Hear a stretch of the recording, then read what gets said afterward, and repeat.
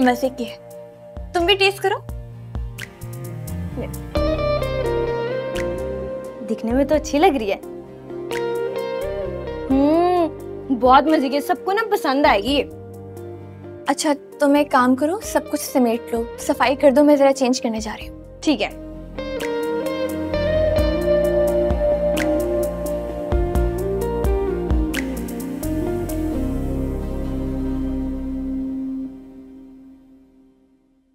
Qasim thank you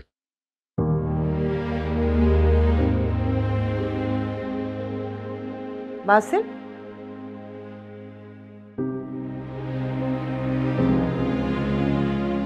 अब बासिल खाना लगने वाला है. खाना खा लो. आ, असल में भूख नहीं है. थोड़ी देर पहले ही तो नाश्ता किया था मैंने. कहाँ जा रहे हो? हाँ एक इम्पोर्टेंट काम से जा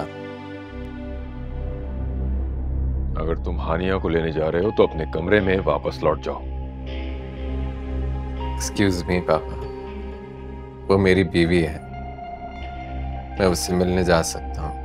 मैं जा रहा हूँ उसे लेने के लिए। तुम दिलशाद के घर नहीं जाओगे। मैं तो सुबह भी गया था उनके घर नाश्ता लेके।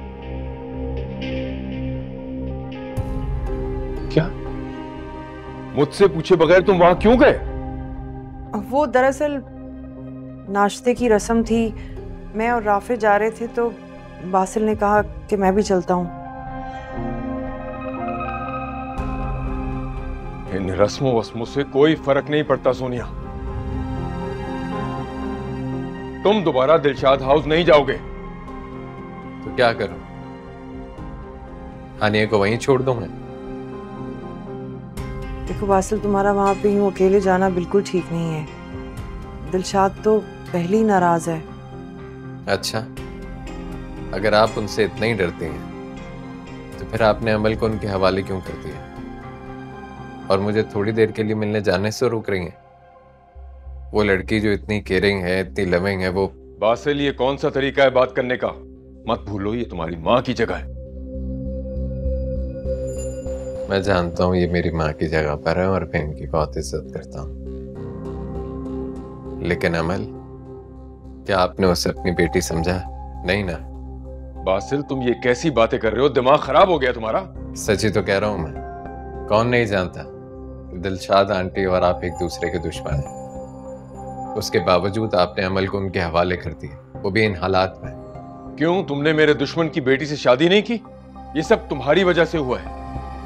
वरना तुमने जो हरकत की है बात संभालनी मुश्किल हो जाती। अगर तुम हानिया को घर से नहीं भगाते तो ऐसी नौबत ही नहीं आती। अब अगर रिश्ते जुड़ ही गए तो हमें उन्हें संभालना है। Exactly exactly. रिश्ते अगर जुड़ गए तो उन्हें निभाना पड़ेगा। इसलिए तो हानिया को लेने जा रहा हूँ वहाँ से तुम हानिया को यूँ लेने नहीं जा सकते। हम लोगों को क्या जवाब देंगे कि तुमने हानिया से भागकर शादी की है? पहले भी मैंने तुम्हारी एब्सेंस को अपने सर्कल में बहुत ही मुश्किल से कवर किया है।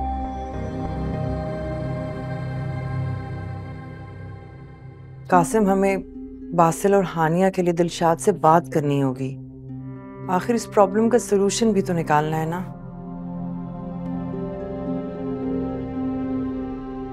बासिल, अभी फ़िलहाल तुम अपने पापा की बात मान लो। हम हैं ना यहाँ पर। हम ले आएँगे हानिया को। आफ्टर ऑल वो इस घर की बहू है।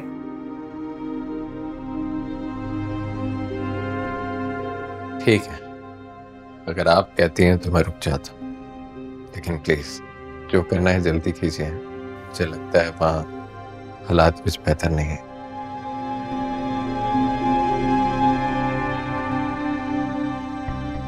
मेरी तो सुबह ही अमल से बात हुई थी। लेकिन उसने तो मुझे कुछ ऐसा नहीं बताया। कि वहाँ कोई माहौल ख़राब है। बल्कि उसने तो कहा है सब ठीक है। इस लड़के का दिमाग खराब हो गया। अगर ये अभानिया को लेने जाएगा, दिलशाद फिर से शुरू हो जाएगी।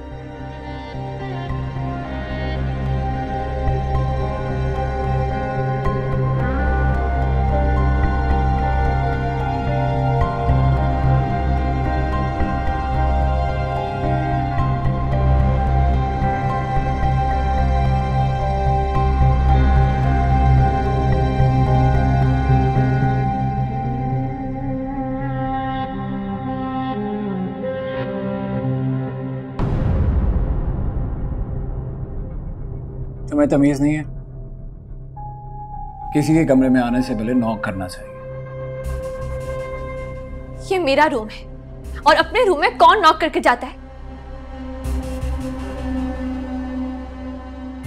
ये सब हो क्या रहा है यहाँ पर? तुम्हारा रूम ये मेरा कमरा है। और तुम्हारा इस घर में कोई कमरा नहीं है। सो गो तो आपको चाहिए था ना कि शादी से पहले मेरे लिए एक अलग रूम का बंदोबस्त कर लेते। रूम। आओ कहीं कोई कोना ढूंढ लो। मैं क्यों किसी कोने में पड़ी रहूँ? मैं आपकी बीवी हूँ।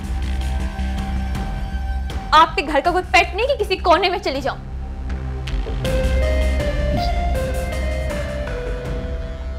पैटी तो हो तुम क्यूट सा पैट आप मुझे इस घर में निकाह करके लाए। आपको चाहिए था कि आप इस शादी से इनकार करके अपनी मम्मा से कहते कि वो आपके लिए कुछ पेट खरीद लाए। जहीन ने अपनी मर्ज़ी से शादी नहीं की है। और इस शादी को सिर्फ़ पेपर तक ही रखना। कहीं खुद को सचमुच की बीवी मत समझ लेना चाहेंगी अब तुम जा सकते हो यहाँ से।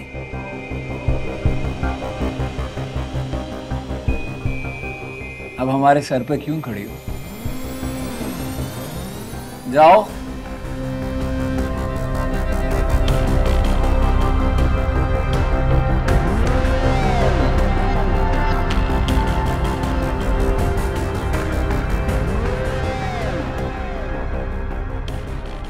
हो गया तुम्हारा। अब सुनो मेरी बात। आइंदा इस कमरे में नॉक किए बगैर मत आना। वो क्या है ना? मुझे अच्छा नहीं लगता। कोई भी मेरे कमरे में बगैर इजाज़त के आए। आप मुझसे दूर रह के बात करें। वाह। एटीट्यूड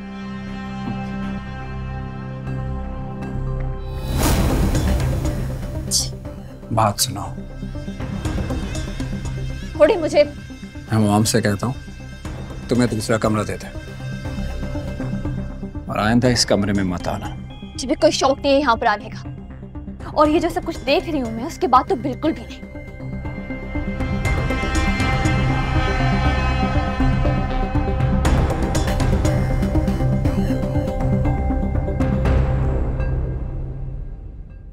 वैसे अच्छा किया तुमने। कौन सा तुमने अपनी मर्ज़ी से शादी की थी? अच्छा है? जाकर आंटी के सर पर सवार आए।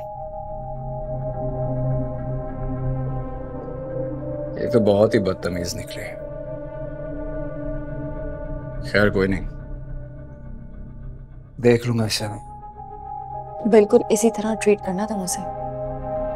जब तक आंटी इसे लेकर कोई फैसला नहीं कर लेती।